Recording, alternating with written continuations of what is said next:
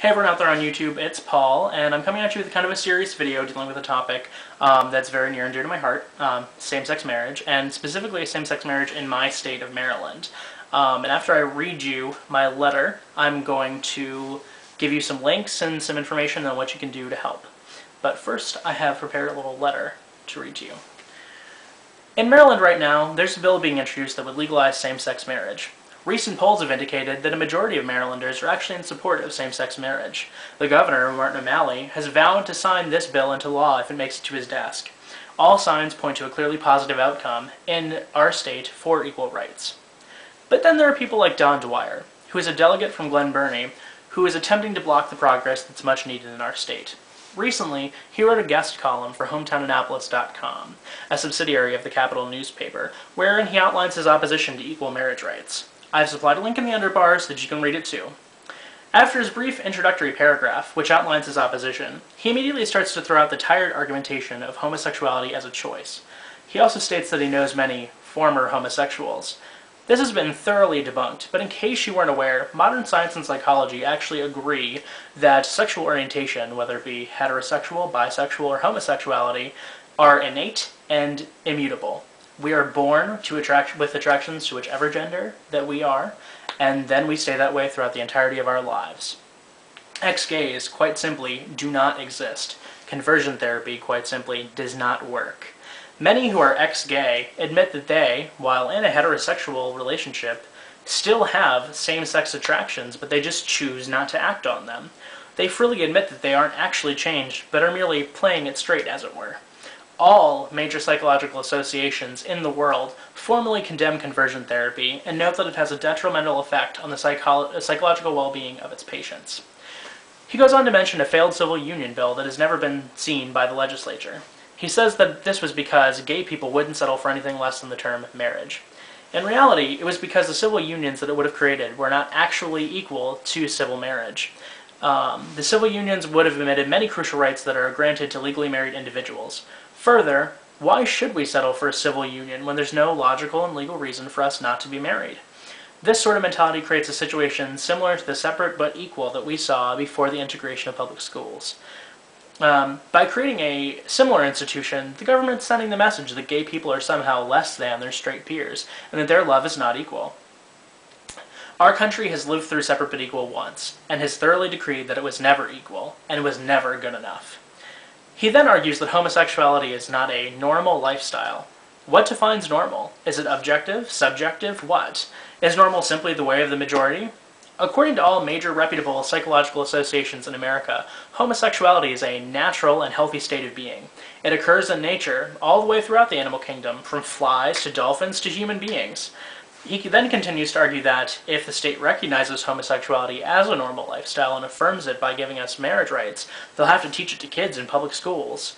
Well, I have two big things to say about that. Number one, so what? If kids learn that being gay is nothing horrible and deplorable, it will create a much needed wave of tolerance in our country. If they're educated on how normal gay families are, they might be able to shake the arbitrary bigotry instilled in them from generations past and create an open and accepting society. Of course, that would just be terrible, right? And two, they hardly teach anything in our basic health classes in the public school system. I'm a graduate of the public school system in Maryland, and I can vouch for that. Health education is seriously lacking in this country, especially when it comes to the types of families that exist and on how to practice safe sex. They hardly teach anything to the heterosexual majority, let alone the homosexual minority. Trying to use this as some sort of scare tactic should be very transparent to parents. It isn't as if teaching kids that homosexuality is perfectly normal and natural will make them gay. It will just make them less likely to bully and discriminate against those that are. His final argument rests solely on religion. Before I address his claims, I'd like to remind everyone that in our country, we have separation of church and state. Quite simply put, selective religious morality and poorly translated Bible-based bigotry have no place in our government. He claims that there is, quote, no doubt religious leaders will be eventually forced to marry same-sex couples should this bill become a law in Maryland. After all, it would be considered discrimination if a church refused to marry same-sex couples once the state changed the law. Well, actually, Don Dwyer, the law as it is written explicitly forbids anyone from taking legal action against a church or a pastor who does not wish to perform marriage ceremonies for LGBT couples. This is another cheap scare tactic. Unfortunately, it's one we've seen far too often. Anyone remember Proposition 8? The thing that freaks me out the most from all these groups is that they use the same tired, overly debunked argumentation to defend their point of view.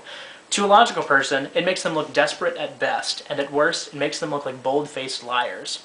The people who generally believe them are the kind of people who claim that they want the government to be less involved in our lives, that they want limited government.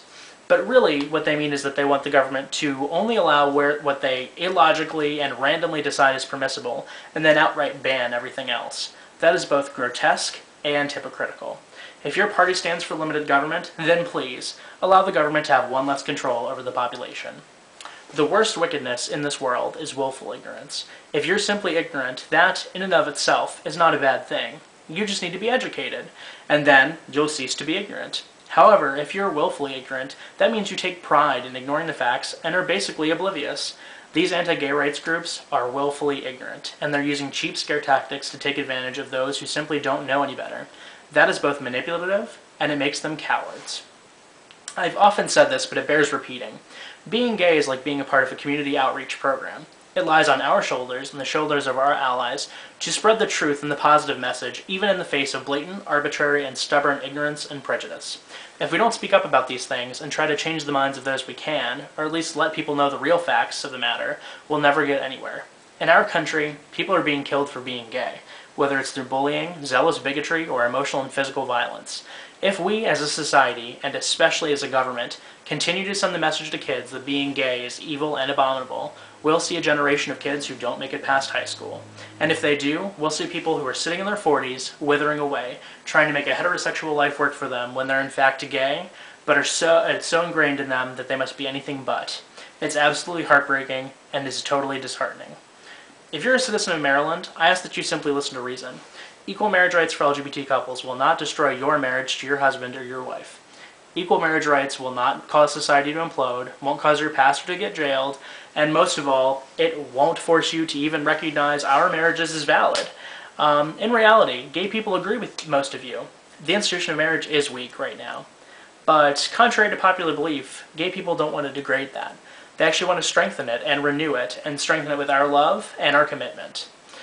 Um, if you are in Maryland, a perfectly good out, uh, place for you to outreach is with Equality Maryland.